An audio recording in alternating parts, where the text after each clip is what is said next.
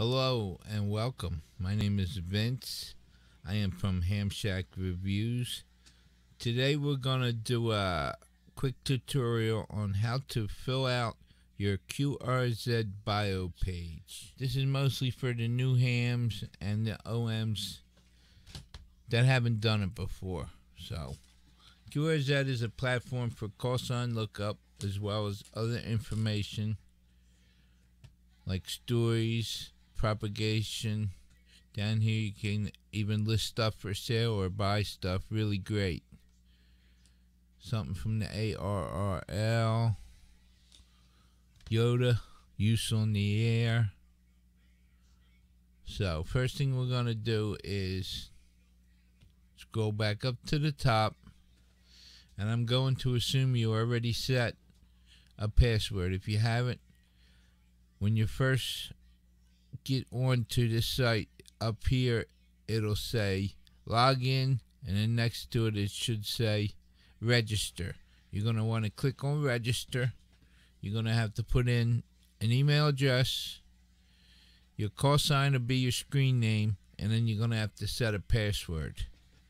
After you do that you sign in and then you're going to come over here all the way to the right in the blue column.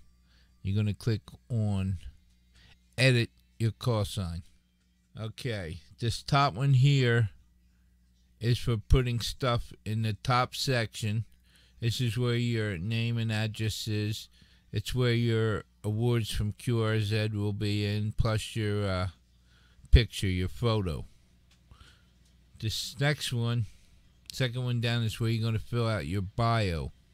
You can put pretty much anything you want about yourself or your radio gear.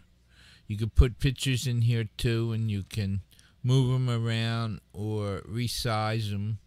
Pretty easy stuff.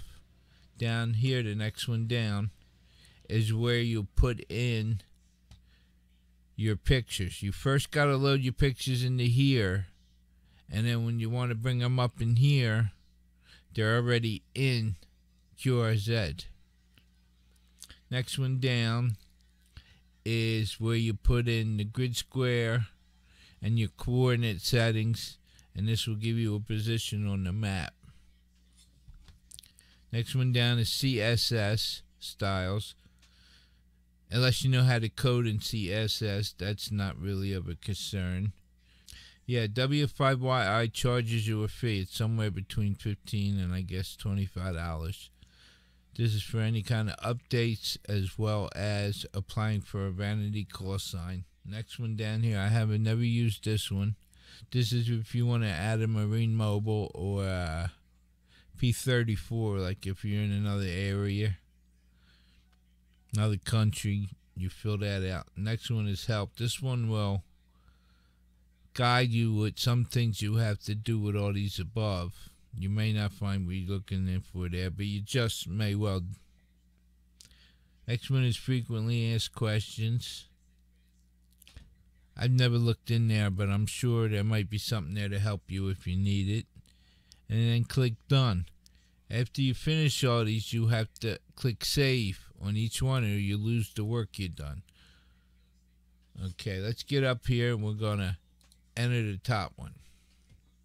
This is where you put in your name, your address, your EQSL and LOTW, and then you click Save. Then we're going to go down to Pictures,